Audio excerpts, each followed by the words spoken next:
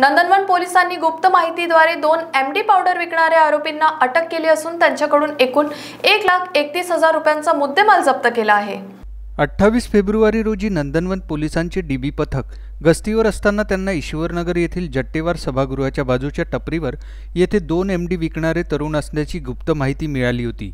याच माहितीच्या आधारे नंदनवन पोलिसांनी घटनास्थळी छापा टाकत दोन आरोपींना ताब्यात घेतले.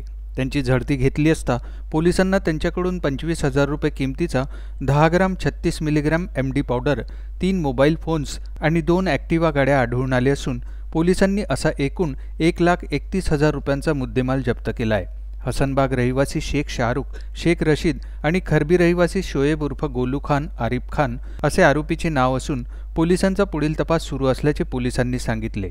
दिनांक अठ्ठावीस दोन दोन हजार बावीस रोजी डी बीचे पी एस आय रहाटे हवालदार Siddharth Patil N P C Sandeep Gawali Vinod Zingare Pankaj Tambde आणि प्रेम खैरकर.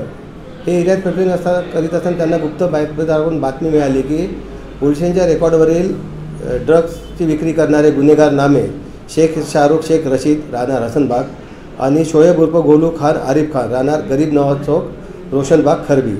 हे ईश्वरनगर चौकामध्ये जट्टवार सभागृहाच्या बाजूला पाणठेल्यावर एम डी बाळगून असल्याची माहिती मिळाली. म्हणून सदर ठिकाणी जाऊन आमच्या पार्टीने रेड केली असता. दोघांच्या त- म्हणजे एन डी पी एस कायद्याचं तंतोतंत पालन करून रेड कारवाई केली असता. त्यांची झडती घेतली असती पंचासमक्ष. तर त्यांच्याकडून दहा ग्रॅम छत्तीस मिलीग्राम ही एम डी पावडर किंमत पंचवीस हजार रुपये तीन मोबाईल सहा हजार रुपये आणि दोन ॲक्टिवा गाड्या. किंमत एक लाख रुपये. असा एक लाख एकतीस हजाराचा मुद्देमाल जप्त करण्यात आलेला आहे. दोन्ही आरोपी रेकॉर्डवरील गुन्हेगार आहेत. त्यांच्याकडे सदरचा माल कुठून आणला काय आणला याबाबत चौकशी सुरू आहे. दिनांक तीन तारखेपर्यंत ते पी सी आरमध्ये आहे.